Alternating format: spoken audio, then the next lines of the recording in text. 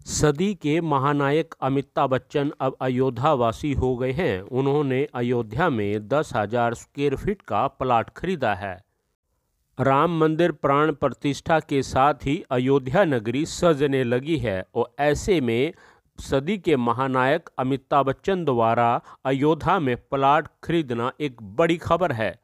अमिताभ बच्चन के प्लाट खरीदे जाने की पुष्टि रजिस्ट्रार सदर अयोध्या कर रहे हैं। आप भी सुनिए, उन्होंने कैसे और कब प्लॉट खरीदा है। ये बैनामा बैनामा नहीं है, एग्रीमेंट टू सेल है। बैनामा इसके बाद होगा। एग्रीमेंट टू सेल में दो डॉक्यूमेंट पेश किया गया है। H O A B L Realtech private limited द्वारा किया गया है और उसके द्वारा दो डॉक्यूमेंट में टेन थाउज़ेंड स्क्वायर फीट की ज़मीन है एग्रीमेंट टू सेल का। नाइन था, नाइन करोड़ रुपीज़ का जो है इसमें लेन देन हुआ है, जो इसकी वैल्यू आई है।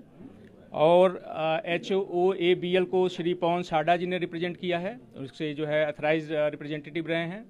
और श्री अमिताभ बच्चन जी जो सेकेंड पार्टी हैं, जिन्होंने परचेज करने के लिए एग्रीमेंट किया है, उसको श्री राजेश यादव जी ने अटॉर्नी के थ्रू उसको एग्जीक्यूट किया है, पेश किया उसको। उसकी रजिस्ट्री कर दी गई।